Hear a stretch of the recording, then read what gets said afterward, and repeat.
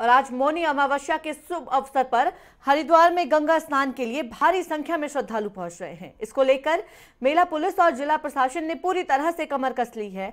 हरिद्वार में मौनी अमावस्या को लेकर ट्रैफ़िक प्लान बीते दिन ही लागू कर दिया गया है।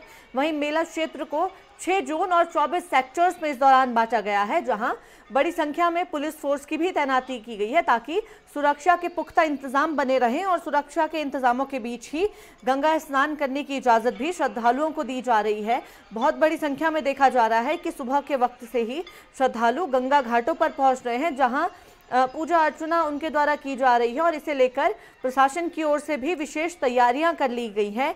बीते रोज ही जो है एक ट्रैफ़िक प्लान भी जारी कर दिया गया था ताकि जब बड़ी संख्या में श्रद्धालु हरिद्वार पहुँचे तो किसी भी तरह की दिक्कतों का सामना न करना पड़े। ट्रैफ़िक को लेकर कोई परेशानी ना सामने आए। इसी के मद्देनजर ट्रैफ़िक प्लान जो है वो लागू किया गया। अगर हम मेला क्षेत्र की बात करें तो मेले क्षेत्र को छह जोन्स में बांटा गया है। इसके साथ ही चौबीस सेक्टर्स बनाए गए हैं ताकि जो भारी भीड़ वहाँ पर पहुंचेगी, उसमें कोई दिक्कतें ना आए। इसके साथ ही अगर हम तैयारियों की बात करें प्रशासन स्तर पर तो प्रशासन की भी तैयारियाँ पूरी हैं। भारी संख्या में पुलिस फोर्स की तैनाती की गई है। इसके अलावा भी प्रशासन की जो टीमें हैं, वो पूरी तरह से अलर्ट मोड पर ज़रूर दिखाई दे रही हैं।